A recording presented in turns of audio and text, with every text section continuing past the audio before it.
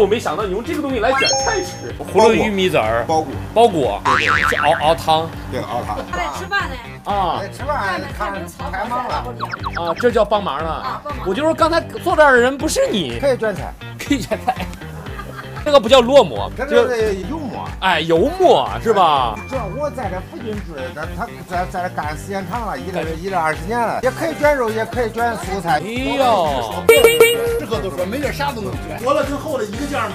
啊对，对，哎，主要我这是时间关系，也是一样的赶没时间。就是你等于说我要是卷的和就着吃的，你给你给我选薄厚，老这个玻璃是特别费慢慢费工，这个慢，过来不整粗长，这是薄的。哎，这个是。关于这厚的，我没想到你用这个东西来卷菜吃，它是发面油馍。还是发面油馍，卷着菜是吧？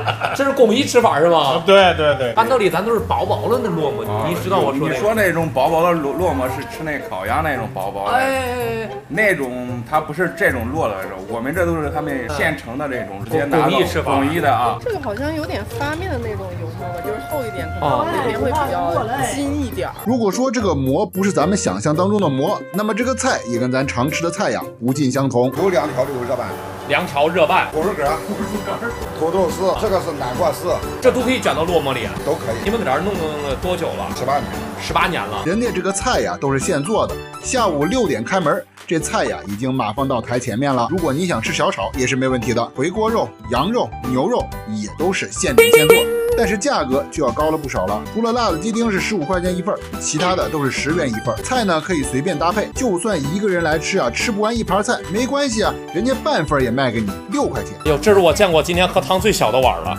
那个就是大碗，看见没？谁家用捞面条的碗盛汤啊，是吧？捞面条咱这儿是不是也用这碗？对，两块的要是随便喝。所以说碗大小都无所谓了，是吧？两块钱一个人洗一盒。玉米仁儿，这不应该咱搁咱那儿喝的是玉米丝儿是吧？打碎的是吧？对，玉米丝是打碎的，葫芦玉米籽儿包谷，包裹。对对对，是熬熬汤，对熬汤。不是这样麦仁儿，现在很很少吃，家里边也很少吃，嗯。就是这种都是巩义的老吃法，都是小时候吃这种东西。给给我给我整迷瞪之后，我发现我没有来过巩义，巩义落馍卷菜馍菜它是这儿碗的是吧？回锅肉。回锅肉、啊辣子鸡丁，啊，再带一个素拼，就这个菜我跟你说点击率老高了，十块钱一盘，一百块钱，一百零五块钱，啊四个菜。不是两个凉菜，再带个辣子鸡丁，五十块钱之内四个人能管饱。是你晚上饭是吧？你是吧关？键是他家中午不开门啊，关键这这东西咱们平常给家里就着吃的，谁卷饼啊？哦不不，小的时候吃回老家，那鏊子烙出来的感觉一模一样，就多家常味道。关键这东西也就十块钱一份儿，啊，味儿太舒服了。辣子鸡丁十五块钱，这分量跟那种川菜炒那种回锅肉感觉不一样，它是煸炒型的，它这个直接就是过油翻炒煸炒。嗯，好家伙，你们这碗汤感觉盛的也可满啊！